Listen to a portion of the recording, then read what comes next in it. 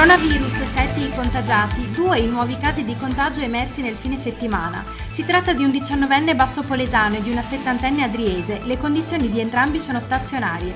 Per uno dei positivi ricoverati, invece, nel fine settimana c'è stato un peggioramento. È stato spostato in terapia intensiva, ma le sue condizioni ora sono stabili. Padova bloccata, via i controlli. Sono partiti nel pomeriggio i controlli sul ponte di Boara che collega le province di Padova e Rovigo. Le forze dell'ordine controlleranno le persone che si spostano da una provincia all'altra per verificare che lo spostamento rientri in quanto stabilito dal decreto entrato in vigore ieri 8 marzo.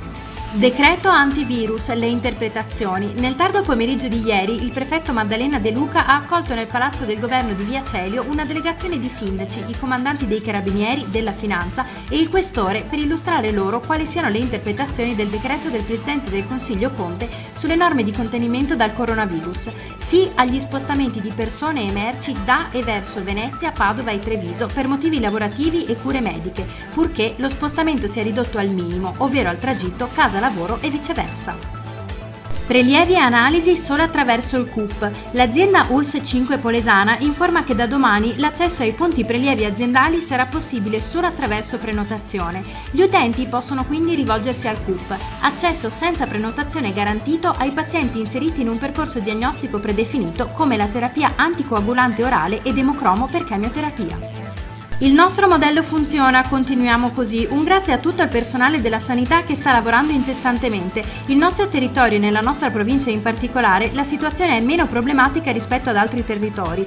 Questo ci fa capire che la strada che abbiamo intrapreso per far fronte all'emergenza è quella giusta e sta dando risultati. Non abbassiamo la guardia e continuiamo a prestare la massima attenzione adottando tutte le precauzioni indicate dalle autorità. Questo il messaggio lanciato dall'assessore Corazzari questa mattina in cittadella sanitaria.